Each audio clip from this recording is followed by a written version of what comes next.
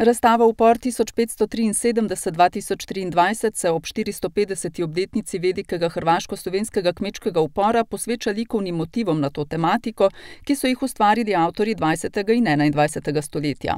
Na sami razstavi so tako postavljena dela 19 avtorjev, ki so se s to tematiko soočali v različnih družbenih okoliščinah in časovnih obdobjih. Um, avtor same postavitve je kolega Kustos Miha Colnar. Razstava je del večjega čezmejnega projekta Upor, v katerem sodeluje šest muzejskih institucij, tri hrvaške in tri slovenske.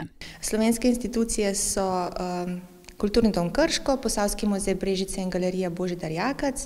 Iz Hrvaške pa sodelujo muzej Selečkih Buna iz Gorne Stubice, muzej Brdovac in uh, muzej grada Zagreba. V okviru projekta bo išla tudi publikacija oziroma vodnik po poteh tega velikega hrvaško-slovenskega kmečkega upora. Sicer pa lahko obiskovalci v galeriji Božidar Jakac uh, vedno uh, občudujejo kar nekaj del na tematiko kmečkega upora, saj so del stalne postavitve Toneta Kralja. Predvsem predvsem na uh, galerijskem dvorišču lahko občudujejo lesene, lesene reljefe in ogromen celopostavni kip Matije Gupca, ki ga je Tone Kralj izdelal leta 1973, um, torej ob 400. obletnici velikega hrvaško-slovenskega kmečkega upora, ko je tudi nastalo največ del na to tematiko. Razstava upor je v galeriji Božji Darjakac sicer na ogled vse do sredine decembra.